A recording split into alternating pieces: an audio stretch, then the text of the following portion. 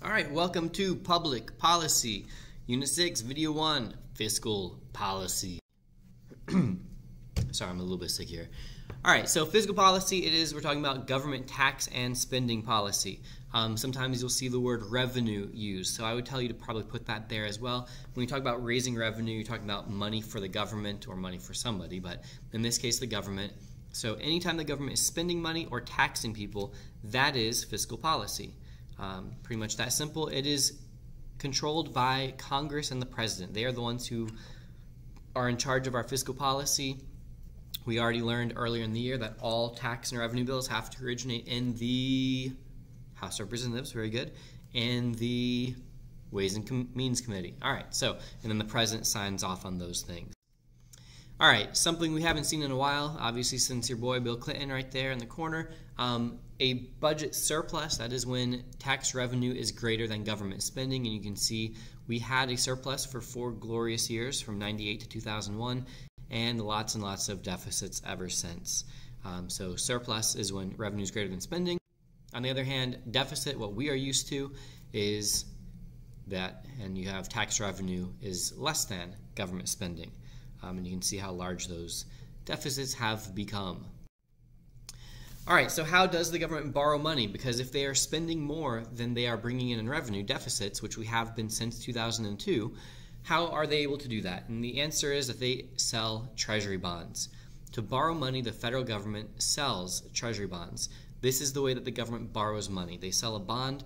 Anybody in the world can buy a bond, um, and you buy that bond, and you are essentially allowing the government to borrow money for a specified amount of time. And when that time is up, the government owes you that money back, and they pay you interest all along the way as they borrow that money. So it's an investment. You don't buy a bond because you want to help the government or it's a political thing, not at all. You buy a bond because it is one of the safest things you can do with your money. Um, so a lot of people own treasury bonds just pure, for pure safety. You're not going to get rich, but your money will be very safe. Um, debt this is the total amount of money owed. Now, by itself, that seems obvious, um, and that number could probably be updated to about $19 trillion right now. Um, but when we talk about debt, we're talking about the total amount of money owed. That's different than deficit. Deficit is on a yearly basis. So, deficit for one year would be this is how much more the government spent than it brought in in revenue. Whereas debt, we add up all of the money owed over time. So the debt is going to be a much larger number. Like for instance, in 2015, um, I haven't seen the final number yet, but our deficit for the year was somewhere around 450 to 500 billion dollars.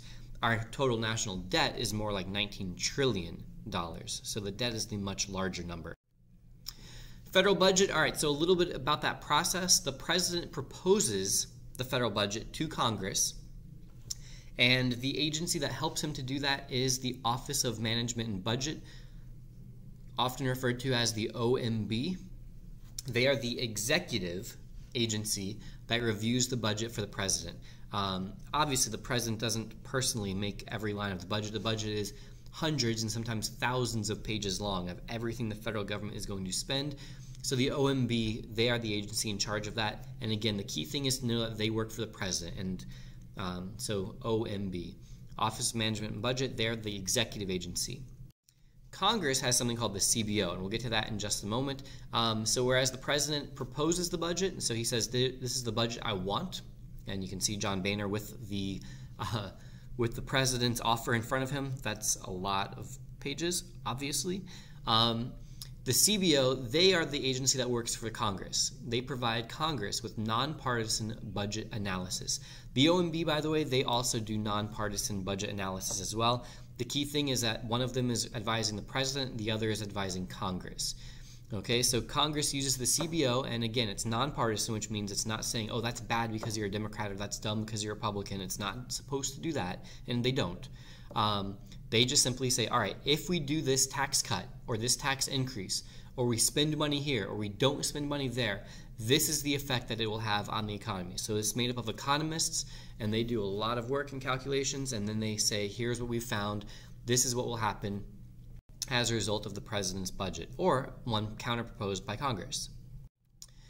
All right, so Congress finally will approve a veto, uh, sorry, will Congress will approve a budget eventually. They have to do that. Um, so whether it's exactly the president's or not, it probably won't be, but they will um, pass a budget. And when Congress passes a budget, just like any other law, they then send it to the president. And the president then has choice of either approving it or vetoing it. Um, this is just you know housekeeping vocabulary. Fiscal year is from October 1st to September 30th. So the U.S. government that is their fiscal year. This has been LaMoney production.